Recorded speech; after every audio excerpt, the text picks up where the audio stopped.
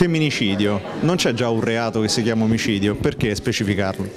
Eh, guardi, il maschio ha, si è impadronito del linguaggio e del lessico, quindi ha creato tutti quanti il vocabolario che noi usiamo comunemente, zingarelli, Europa così, la stragrande maggioranza dei lemmi, delle parole, sono state fatte ovviamente nell'antichità dal maschio che in quanto egemone ha impedito alla donna, insomma relegata a quei ruoli che conosciamo bene di subalternità, ha impedito alla donna di raggiungere il logos, adesso non voglio dire una cosa difficile, ma insomma il logos si sa è il verbum, no? la parola, che poi logos vuol dire anche pensiero, parola e verità anche. Quindi c'è stata proprio un'azione espropriatrice da parte del maschio del linguaggio.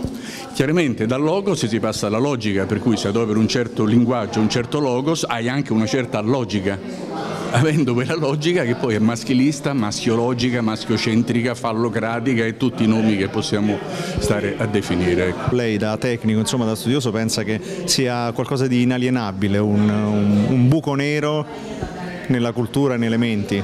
Non voglio fare il determinista, però purtroppo l'essere umano in genere, donna compresa, deve lottare con certi istinti e pulsioni che sono eh, rinchiuse in una parte, noi abbiamo due cervelli, no? si sa, sistema limbico rettiliano ed è chiamato così non a caso perché ce l'hanno le lucertole, i rettili, i topi e sempre via, e la corteccia. Quindi eh, tocca privilegiare, è necessario privilegiare l'area corticale che, in cui sono contenuti i dati culturali appresi per cui ogni maschietto, per dire, visto che poi parte da lì la sua azione terribile no? di violenza, ogni maschietto è inutile, sì, si possono fare sanzioni, ma se non lo educhi fin da bambino al rispetto, come giustamente stai composto a tavola, ma rispettare la donna e controllare le sue pulsioni sessuali, è tutto lì il problema altrimenti si accoppieranno come fanno i conigli e le cose tranquillamente, però lì non succede nulla, nella dignità della donna invece, della dignità del maschio è, è tutto un altro mondo che sfiora la sacralità.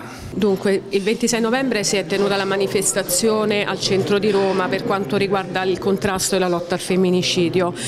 Abbiamo aderito naturalmente pur eh, non condividendo appieno quella che potrebbe essere una politica del muro contro muro, intendiamo fare qualcosa di diverso. Infatti questa sera qui da noi ci sarà un uomo maltrattante che racconta la sua storia. Non sarà assolutamente una cosa facile né per noi né per lui né tantomeno per il pubblico che non è abituato, però riteniamo che sia la cosa migliore da fare, un avvicinamento e un'educazione all'affettività che parte anche da eventi come questo.